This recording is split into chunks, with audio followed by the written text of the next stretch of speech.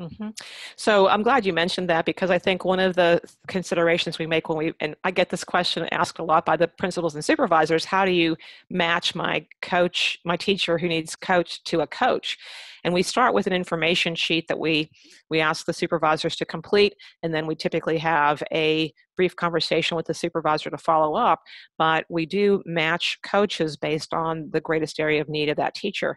And sometimes that area of need is classroom management. That's where we start. Mm-hmm. Um, I, I, would have said a year ago that I rarely thought that we were going to be coaching folks in content, but I would say that this year we've seen more of that than we have in the past. And that's fine. That's fine. But I will say also that um, I guess I look at I look at it three ways. We're either coaching for classroom man- management issues, we're coaching for pedagogy issues. Mm-hmm. So just good instructions, understanding that there's a there's sort of a uh, instructional cycle.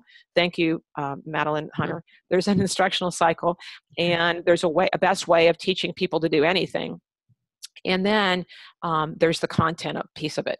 And I would say that nine times out of 10, we're either looking to match somebody because we have classroom management issues and they just need somebody who's really strong in that area, or we have instructional issues uh, not necessarily related to content. So that's when I don't. I think it's fine. And, and one of my best one of my best coaching achievements happened in a science classroom. It was an in person. I was using in person.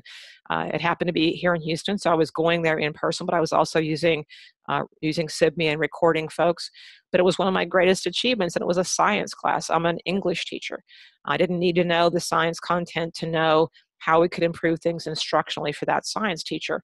And so we take this science teacher whose scores were the uh, student achievement scores were the, the, worst in the district to having the highest scores in the district uh, uh, and, and, and becoming the pre-AP teacher in the building. So it's just showing folks a few, oftentimes it's not more than four or five or six yeah. really important things that can make a huge difference and that's the value of being a great instructional coach is you're a strategic coach.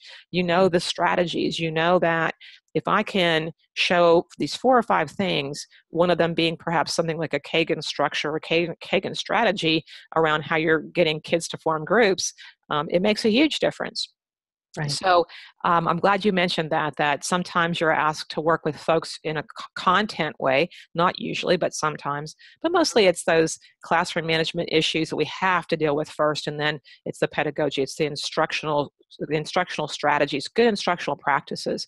Um, I would say. Uh,